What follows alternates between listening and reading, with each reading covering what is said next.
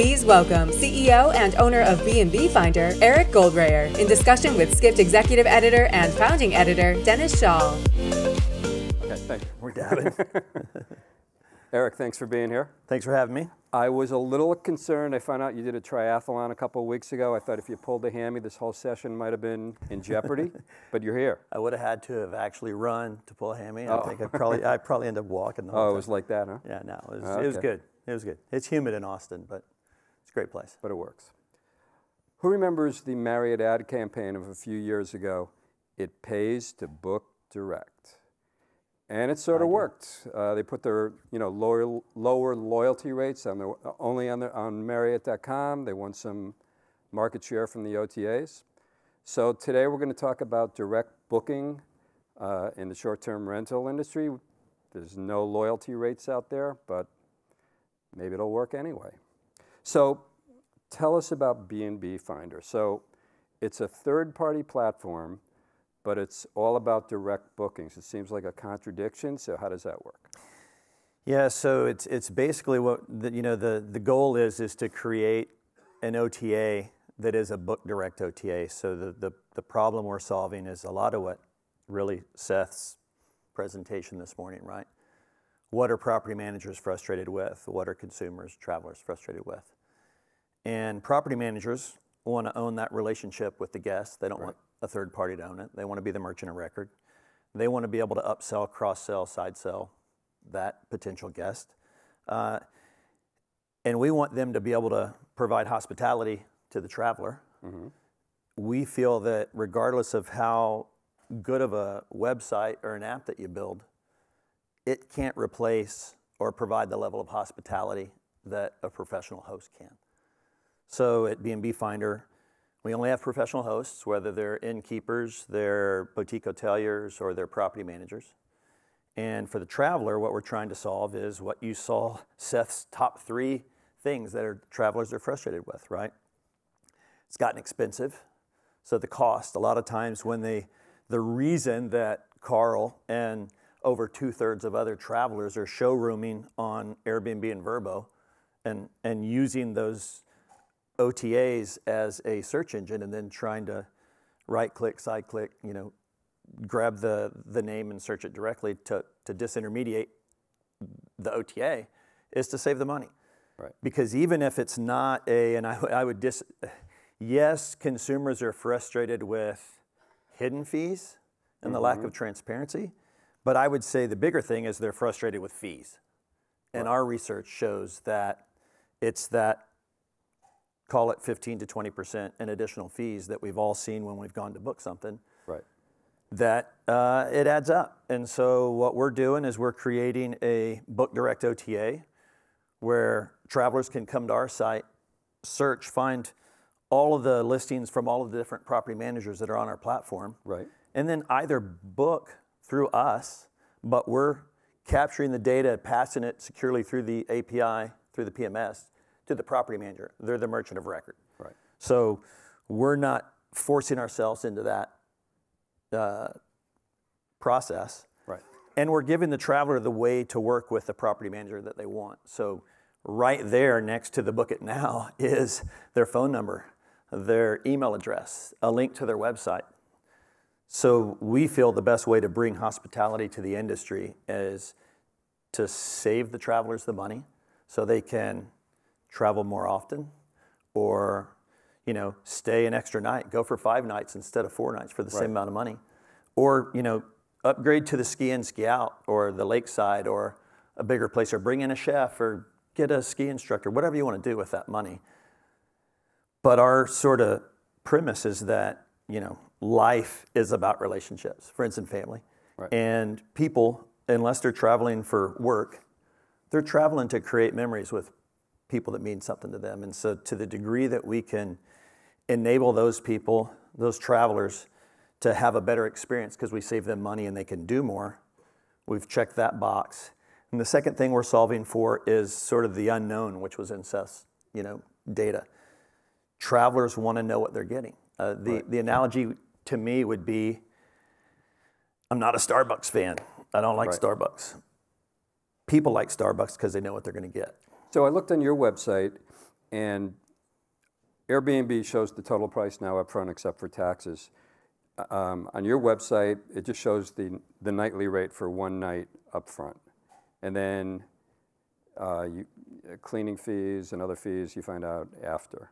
Right? Not if you, so we're, it's, it's a great point. Um, we've spent the last, so B&B Finder as a website launched in 1998. It was a true bed and breakfast website, right? Bought it in 2019, rebuilt the tech stack, put the team back together. Um, we've spent the last really 12 months on supply. So, so the three legs of the stool are to, to create a marketplace, you have to have inventory. Mm-hmm. Right, we're not going to be valuable to anyone if they want to come to Austin. We've got 27 listings, right? right. So we've got like 500 now. Uh, still room to grow, but we've got enough that we can be valuable to a traveler. Uh, the second thing is, is you have to have a product that works. We've not really been focused on the website so much. We've been focused on inventory because we weren't going to go out and let the world know we existed because we didn't want travelers coming because we didn't have inventory. Right. Our site for the last 12 months has really been a site for those early adopters and those innovators that we're willing to put up with a few things because man, they can stay for five nights instead of four for the same price. Right. What we're in the middle of doing right now is exactly what I mentioned a minute ago, which is today, if you go to our site, roughly half the listings on our site, we're going to send you through to the property manager's website to complete right. the booking. It's a bad user experience. We know that. Um, now, about half the listings, you go to book it, it's all going to happen on our site, just like you're on any other OTA. And then you pass the, the customer information to the uh, property manager. Right, and yeah. they do the customer service and stuff. That's right. So you bill it as um, vacation rentals without service fees. So what that really means is you, you're not paying a B&B finder service fee, but you're, paying, you know, you're paying cleaning fees and Absolutely. All the other fees that uh, the property manager might charge. Yeah, we say service fees, booking fees, pretty interchangeable. Right. Um, if the property manager charges a service fee, that service fee is going to exist on all the other OTAs and all the other channels, and it's going to exist right. on their direct website. Right. But the consumer might, might be a little frustrated. Oh, I thought there was no service fees, and then they click over and there's a service fee. They could be, and yeah. I think what'll happen is they'll go and they'll compare the price on our site yeah. to the price on the other guys, and they'll see, oh my gosh, that's you guys are way less expensive. Right. And we're, you know, it becomes right less less is more. Uh, the three rules are right in it at the company are people don't read, people don't read, people don't read. We got to be careful how much we try to explain. Mm-hmm. So you, you boil it down to you know, no service fees, and there's, you know, the little I or whatever you mouse over it, and it pops up and it explains no B&B Finder service fees. Right. And then you bill it as uh, no commissions for the um, property managers. So, That's right. So it's free to list. Any, free to list. Any property manager can list. But Not any, but most. Okay. Yeah. Um, but if you want higher visibility, you pay a subscription fee. Yeah, I mean, yeah. we're not like the rocket scientists in the room. This is uh, David Clouse did it you know, with Vacation Rentals by Owner in 1995. He was the founder. Uh, right. We and he sold the HomeAway 2006. Uh, we launched bedandbreakfast.com in 95. Uh, Rich Barton launched Expedia. Terry you know, Jones funny. launched. Your job at, at uh, breadandbreakfast.com was We had that domain, by the way, bread and breakfast, because a lot of people do that. I can't talk. Yeah, no, um, a lot of people distribute. What were you saying? No, but your job was to distribute the inventory to the OTAs, and That's now right. you're running a site Stay away from the OTAs. Yeah, so um, not stay away. Right. I, I'm, I'm not going to, and, and we as a company don't tell property managers you should not be on the big OTAs. That right. would be foolish as a PM. If I was a PM, I'd be on all of them. What we're saying is we're here to help you build your direct business with zero risk. Right. Get on the site. If you want additional exposure, just like old school home away, old school Vacation rentals by owner, bedworks.com. If you want more exposure, you can pay for that. And so the right. algorithm will say, how, okay. How much do you pay? It's $100 or less per month. It starts at $20 a month and it goes up to $100 a month right. per listing. Is there really a resurgence in direct bookings in the market? You know, um, a, lo- a, lot of people talk about direct bookings. It's, it's, aspirational, but how many are really having? I think it's I think it's aspirational because it's not easy. If you're yeah. an individual homeowner, it's next to impossible.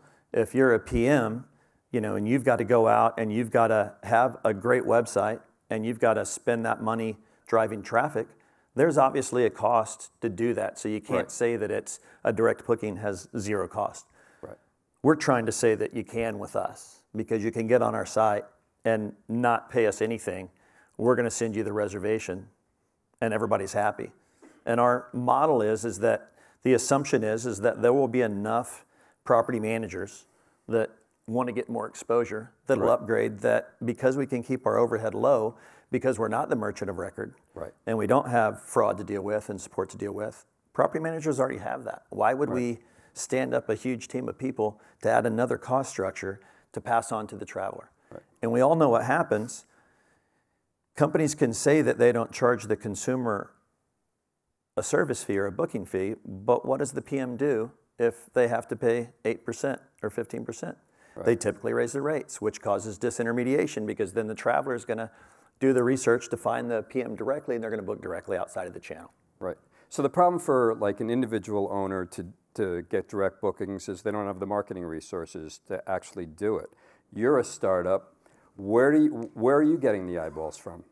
What are your resources to get the direct bookings? To get to it's a great question and attract demand. You know, my, my high level answer would be today we're not. Our traffic is, is nothing. Mm-hmm. Some candor here. Yeah, no, there, our traffic today, we've not focused. Yeah. You, you have to have a great website Yep. and or app, and you have to have a good inventory before it makes sense to go do anything really on building the third leg of the stool, which is the demand side. Right. Right, the supply side, the demand side, and then the, the product in the middle. I feel like, you know, 12 months in, we're right at 100,000 listings in primarily the United States. Mm-hmm. We've been approached by uh, one of the largest uh, property managers in Europe wanting to get on. We, we're not ready for Europe. That'll probably be Q1 of next year, Mm-hmm. Hopefully. You have some big property managers from the U.S. Uh, we do. We're, I saw you had RedAwning. We've got RedAwning. Uh, Mm-hmm. Evolve should be live uh, any day.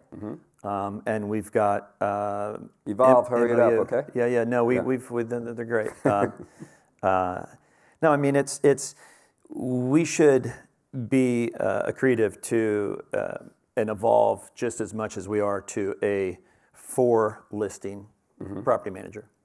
Aren't you training, you know, from a property manager cons- perspective, and they're trying to get direct bookings? Aren't you training them, training guests to do the wrong thing? They, they, they have to go to you to get a third-party site to get the direct booking Well, I don't. I, instead of going the, yeah, the- the- direct, direct.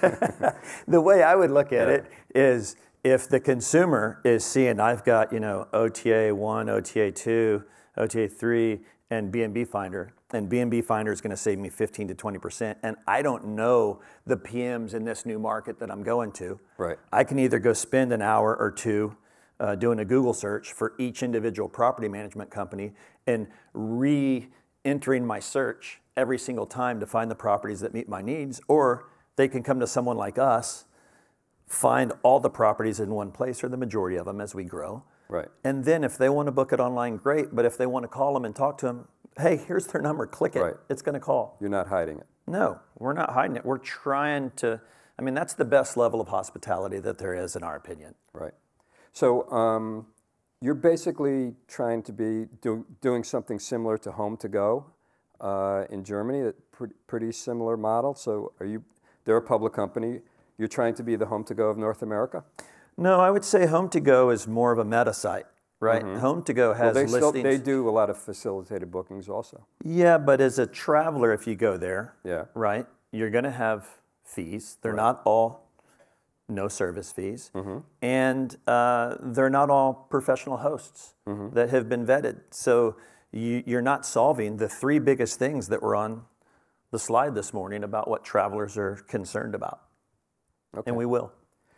I got a good audience question here. Sometimes, OT, uh, sometimes OTA startups go against their initial promise and start charging standard commissions at some point. How do you resist?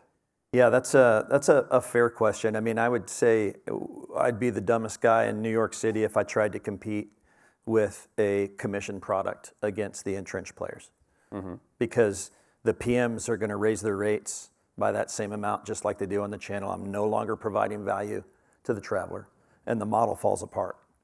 I've got to scale my costs, the whole thing. Just similarly, I think it would be hard for uh, the entrenched players to, to go after our model. You, you can't you can't be a, a hundred plus billion or ten billion dollar company, change your model and not really take a hit. So when your salespeople go to uh, a property manager to pitch B&B Finder, what is the reason? What is the most common reason you get that they don't want to sign up? Is it that you don't have the you don't have the the guests, you don't have the demand, or, or what is it? I think that's Because a fair otherwise one. it's a- no, that's a fair one. Um, Okay. most of the ones that we do talk to come on, Okay. right? But they're self-selecting. So, what's the reason the ones that we don't get to talk to don't come on? We don't know because they don't talk to us. Uh, but um, I would say it's they're not seeing that we have the demand yet. They want to wait. Right. It's fair. Um, and the other one would would be, gosh, we're a property manager. They're it's like innkeepers. They're busy. They're like doing this, right? Right. Kicking it.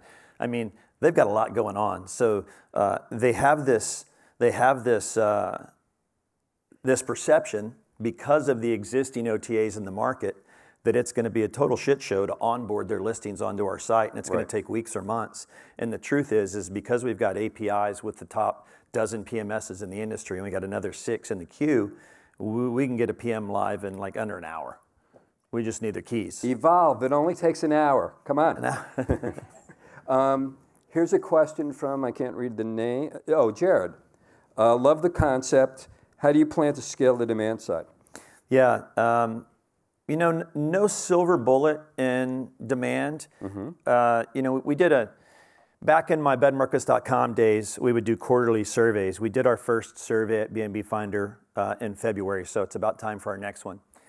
One of the questions that we asked 681 travelers replied to this thing 25 years of age or older, had stayed in a vacation rental in the last uh, 12 months. We asked if you were aware of a site like Airbnb or Vrbo that didn't charge service fees, would you use it? Almost two thirds said they were highly likely to use it, 61%, percent mm-hmm. and another almost third, 30%, said they were likely. So more than nine in 10 people are saying that if we knew of a site like Airbnb or Vrbo that didn't charge service fees, we, we would use it. We hope what that means is when you look at all the negative press around whether it's hidden fees or service fees, Ticketmaster, resort fees, booking fees, gratuity, I mean, that whole, if, if we can come in and, and ride that wave t- to just create awareness, I mean, it's obviously going to take PPC and SEO and social and, you know, all of the standard things that all of us know about. There's no magic trick. One what we hope is that because travel is sexy and mm-hmm. everybody's like, oh, you know, you, you, you go have a drink with someone you hadn't seen in a month. Oh, what are you doing this summer? Oh, well, we're going to go, you know, stay at this vacation rental, blah, blah, blah. Oh, have you heard of B&B Finder? So we're hoping word of mouth is big for us. Uh, we think once we do start going out to the traveler side of the marketplace um, and we show them what we've seen the savings can be, it will be I I hate to use viral, but it will be a big word of mouth thing, right? That's a relative. Whether I'm going to book a, a ski and ski out property in Aspen for a week and I'm spending $70,000, not me personally, but metaphorically, 70 grand, and I'm going to save $10,000. Whoa. If you're my son and he's that age where he and his new wife have a wedding to attend once a month, it feels like, right? So if they're going to Houston and they're staying in something that's $100 a night for two nights, saving 35, 40 bucks, well, that just like paid for their dinner, paid for the gas. Right. So I think, you know, I think the magic bullet for us is we are meeting what the market says they want. Mm-hmm. And because of that, it will be way easier for us than it would be for uh, HomesToGo or someone else to Right. drive that demand. If you're uh, focusing exclusively on property managers, no individual hosts aren't aren't the guests losing out on a certain experience? Some guests can't be everything to everybody. Right. Um, you know, I would say, I would turn it around and say, uh, you know, what you saw in the data from Seth this morning wasn't that people were frustrated that they couldn't stay in every listing in a location. They wanted to know that, you know, the listing was real. It wasn't a ghost listing, right? Airbnb pulled 59,000 fake listings off their site in November, Yeah. if I remember correctly. Um, they vetted the data's old, so I'm sure they're continuing. But at, at the time that I read it, Right. one and a half million of their 7.7 million listings.